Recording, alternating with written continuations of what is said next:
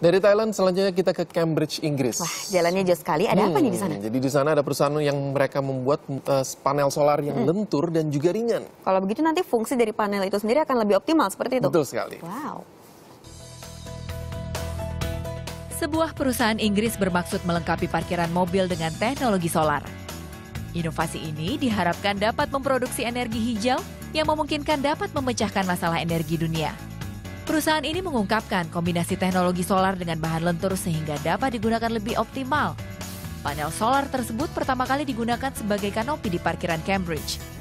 Ke depannya penggunaan panel lentur dan ringan ini dapat menutupi jutaan meter persegi bantalan langit-langit di Inggris, di mana panel tradisional terlalu berat digunakan.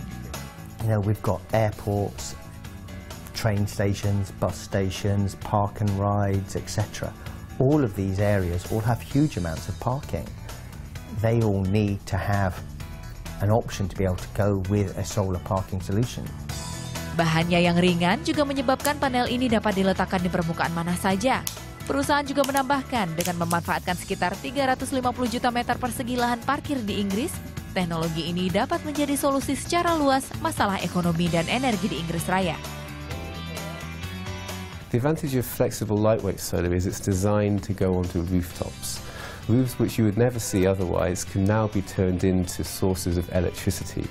And that means you don't have to have any impact on the environment. There are no concerns to take into account of planning.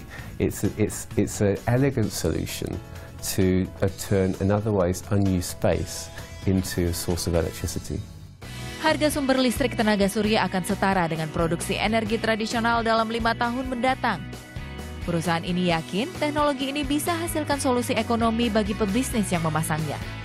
Carol juga percaya panel solar lentur bisa diintegrasikan dengan sejumlah bangunan dunia. If you think of buildings that are iconic, such as things like the O2 Arena in London, imagine that powering itself because it's being covered in a flexible solar tensile structure. Imagine looking at things like the Sydney Opera House. Imagine looking at sporting stadia where basically the ground is completely covered with a solar solution that allows you to one appreciate the artistic merits of the design of the stadia, but it also allows you to create energy for its needs. Pemenang penghargaan teknologi ini telah menarik minat banyak pihak. Solar Cloud bahkan memiliki 4 juta pound sterling atau setara dengan 80 miliar keuntungan dari penjualan saluran pipa.